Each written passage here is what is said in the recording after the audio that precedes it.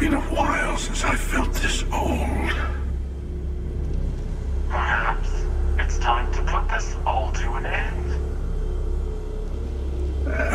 At least this once. Here. Take the artifacts.